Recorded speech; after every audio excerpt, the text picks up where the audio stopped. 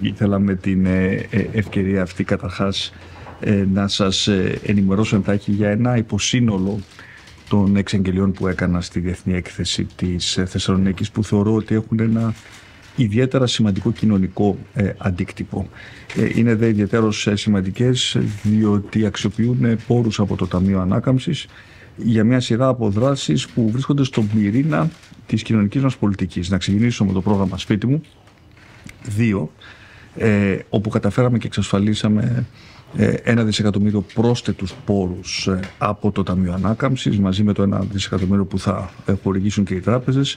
Μιλάμε για ένα πρόγραμμα ύψους 2 δισεκατομμυρίων το οποίο στοχεύει στο να αποκτήσουν περί τους 20.000 συμπολίτες μας ε, το σπίτι τους με ένα ε, κόστος στεγαστικού δανείου το οποίο θα είναι χαμηλότερο από όσο θα πλήρωναν αν νίκιαζαν ένα αντίστοιχο σπίτι. Το πρόγραμμα σπίτι μου ένα όπως γνωρίζετε είχε πάρα πολύ μεγάλη επιτυχία και φιλοδοξούμε τώρα να μπορέσουμε να διπλασιάσουμε τους δικαιούχους διευρύνοντας σημαντικά και τα κριτήρια. Και ταυτόχρονα να διαθέσουμε και 400 εκατομμύρια για επισκευές σπιτιού μέσω ενός άτοκου ε, δανείου, ουσιαστικά χωρίς εισοδηματικά ε, κριτήρια, για να μπορέσουν οι συμπολίτες μας να κάνουν ενεργειακή αναβάθμιση ε, είτε σε σπίτια τα οποία διαθέτουν, είτε σε διαμερίσματα τα οποία ενδεχομένως είναι κλειστά και τα οποία μπορούν με αυτόν τον τρόπο να τα αξιοποιήσουν έτσι ώστε να αυξήσουμε την προσφορά των διαμερισμάτων. Η δεύτερη δράση, στην οποία αποδίδω πολύ μεγάλη σημασία, ε, είναι τα χρηματοδοτούμενα από το Ταμείο Ανάκαμψης Απογευματινά ε, Χειρουργία. Γνωρίζετε ότι ο θεσμός έχει ήδη ε, ξεκινήσει. Ε, αλλά έχει πάρα πολύ μεγάλη σημασία να μπορέσουμε να δίνουμε δυνατότητα σε συμπολίτε μας που δεν έχουν την οικονομική άνεση, ειδικά αυτοί οι οποίοι περιμένουν αρκετό καιρό για μια προγραμματισμένη εγχείρηση, να την κάνουν και το κόστος του απογευματινού χειρουργείου, όφελος για τους γιατρούς οι οποίοι χειρουργούν το ε, απόγευμα, να εκταμιευθεί από το Ταμείο Ανάκαμψης. Μετά από μια δύσκολη διαπραγμάτευση, ε, αισιοδοξούμε τον Νοέμβριο θα έχουμε και την τελική ε, επιβεβαίωση αυτής της απόφασης, ώστε να μπορέσουμε άμεσα να ξεκινήσουμε και τα απογευματινά χειρουργία. Και το τρίτο, το οποίο νομίζω έχει μεγάλη σημασία, έχει να κάνει με τις ε, γενικότερες δράσεις που έχουν να κάνουν με την αξιοποίηση της τεχνολογίας στην εκπαίδευση.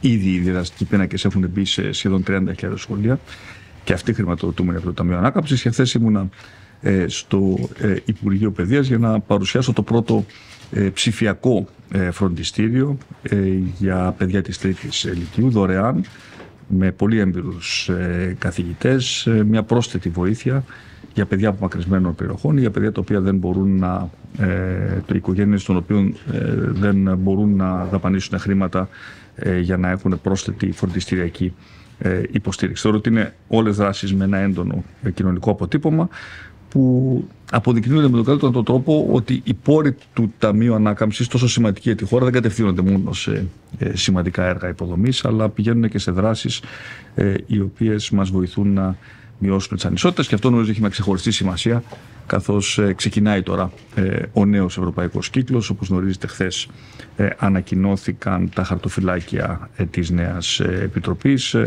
Ε, η Ελλάδα ε, ε, πήρε το χαρτοφυλάκιο που έχει να κάνει με τις βιώσιμες μεταφορές, την αυτιλία και τον τουρισμό για ευνόητους λόγους. Ένα χαρτοφυλάκιο πολύ σημαντικό για την πατρίδα μας, η οποία φιλοδοξεί να παίξει έναν ρόλο ως πύλη εισόδου για όλη την κεντρική και την Ανατολική Μεσόγειο. Πολύ σημαντικό για την αυτιλία μας. Πολύ σημαντικό ότι για πρώτη φορά υπάρχει και η επίσημη αναγνώριση της ευρωπαϊκής διάστασης του τουρισμού και το χαρτοφυλάκι αυτό θα πάει σε Έλληνα επίτροπο. Ε, οπότε ε, αυτό σε συνδυασμό και με τις πολλές δράσεις που πρέπει να ε, αναλάβουμε την επόμενη πενταετία στα πλαίσια και της έκθεσης την οποία έγραψε ο κύριος Δράγκη, μια έκθεση την οποία στηρίζω απόλυτα, μια έκθεση πολύ φιλόδοξη, η οποία θέτει την Ευρώπη με ευθύτητα μπρος τις αδυναμίες της. Νομίζω ότι υπάρχει πια ένας κανβάς θα έλεγα όπου τα συμφέροντα της Ελλάδος τέμνονται με σημαντικές προτεραιότητες που πρέπει να αναλάβει η Ευρώπη την επόμενη πενταετία. Κύριε Πρόεδρε, οι δημόσιες πολιτικές πρέπει να χαράσσονται με άξονα την κοινωνική δικαιοσύνη. Και είναι σημαντικό όλα αυτά που αναφέρατε. Η στέγαση, η πρόσβαση στην υγεία, η πρόσβαση στην εκπαίδευση, η ισότιμη πρόσβαση σε όλα αυτά τα αγαθά. Είναι πάρα πολύ σημαντικό να στηρίζονται και έτσι όσα μέτρα λαμβάνονται είναι στη σωστή κατεύθυνση. Τα νέα ζευγάρια, ο καθένας να μπορεί να έχει την υγεία που χρειάζεται. Τις υπηρεσίες υγείας που απαιτούνται. Και φυσικά πρέπει να εξασφαλίζουμε τις αναγκαίες υποδομές για όλα αυτά. Μακάρι λοιπόν να ληφθούν τα αναγκαία μέτρα. Στο θέμα της εκπαίδευσης είναι και η ψηφιακή φυσικά τεχνολογία είναι κάτι στο οποίο ε, θέλουμε δεν θέλουμε θα περάσουμε, έχουμε ήδη περάσει και εκεί πρέπει κανείς να αξιοποιεί τις ευκαιρίες και να παίρνει μέτρα κατά των κινδύνων. Είναι πολύ σημαντικό. Ε, ένα άλλο ζήτημα που θα με ενδιαφέρει να τονιστεί αυτό τον καιρό και το έχετε δει και η κυβέρνηση, ξέρω και το Υπουργείο Παιδείας και στον καιρό, είναι το θέμα του bullying στα σχολεία. Και εκεί ίσως είναι καλό να τονίσουμε ότι πρέπει να υπάρχει αναγκαία συνεργασία εκπαιδευτικών και γονέων. Γιατί η εκπαίδευση είναι το πρώτο βήμα διαμόρφωσης μιας κοινωνίας. Άρα η συνεργασία και των γονέων είναι πάρα πολύ σημαντική και πρέπει για να μπορούν να προλαμβάνονται αυτά τα φαινόμενα που πλήττουν και τον ψυχισμό των παιδιών αλλά και τη διαδικασία της εκπαίδευσης.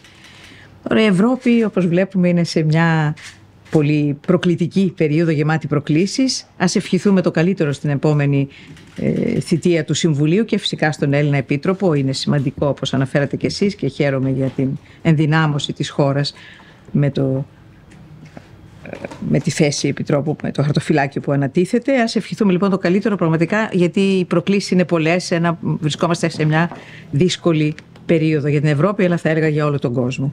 Α ευχηθούμε το καλύτερο. Αν μου επιτρέπετε μια σύντομη παρατήρηση στο ζήτημα του bullying. Ε, όπως θυμάστε πέρυσι παρουσιάσαμε την πλατφόρμα στο bullying ε, η οποία ήδη είχε πολύ σημαντική ανταπόκριση και με διακριτικότητα έχουμε χειριστεί πολλά περιστατικά ε, στα πλαίσια του σχολικού περιβάλλοντος όπως πάντα αυτές οι περιστάσεις απαιτούν. Θεωρώ όμως πάρα πολύ σημαντική και την ε, δέσμευση της κυβέρνησης να απαγορεύσει την χρήση των κινητών ε, κατά τη διάρκεια ε, του, του σχολείου, κατά τη διάρκεια από τη στιγμή που το, ε, το παιδί θα, θα πάει στο σχολείο μέχρι που να φύγει. Το εννοούμε όταν λέμε το κινητό στην, ε, στην τσάντα. Δεν είναι απλά μια προσδοκία. Ε, και φυσικά το ζήτημα δεν είναι τιμωρητικό. Αν θα μπει, είδα ότι σήμερα μπήκε πρώτη αποβολή. Αυτό δεν είναι το ζήτημα. Το ζήτημα είναι να αντιληφθούμε όλοι ε, οι, ε, οι δάσκαλοι και οι καθηγητές, οι γονείς πρώτοι και πάνω απ' όλα και τα ίδια τα παιδιά, ότι αυτό τελικά βοηθάει την ίδια την μαθητική διαδικασία. Γι' αυτό και θέλουμε τους συλλόγους γονέων ε, συμμάχους ε, σε αυτήν την ε, προσπάθεια και γιατί όχι να πάμε και κάποια βήματα παραπέρα. Έχω συζητήσει ε, με τον ε, ε, Υπουργό Παιδείας και είμαι πολύ θετικός. αν υπάρχουν τέτοια αιτήματα από συλλόγους γονέων, να προμηθεύσουμε έναν σε πρώτη φάση υπεπερασμένο αριθμό σχολείων, πιλωτικά με λόκερ, ώστε τα παιδιά να μπορούν να κλειδώνουν τα κινητά τους όταν πηγαίνουν στο σχολείο και να τα παίρνουν όταν φεύγουν. Είναι σημαντικό όμως αυτές οι δράσεις να μην επιβάλλονται από πάνω προς τα κάτω, αλλά να έχουν την ίδια την, ε, την ανταπόκριση της σχολικής κοινότητας. Και επειδή το μέτρο αυτό, διότι έχει πολύ μεγάλη αποδοχή, είναι στοίχημα όλων μας να κερδίσουμε, ε, να το κερδίσουμε ε, και να, να μπορέσουμε να το κάνουμε πράξη, όχι τιμωρητικά, αλλά γιατί με αυτόν τον τρόπο θα βοηθήσουμε τα παιδιά μας. Η αυτοδέσμευση είναι πολύ σημαντικότερη από την κύρωση, αυτό είναι αλήθεια. Και μακάρι όλοι να το κατανοήσουν ότι είναι για το καλό της εκπαιδευτικής κοινότητας και τελικά και των ίδιων των παιδιών.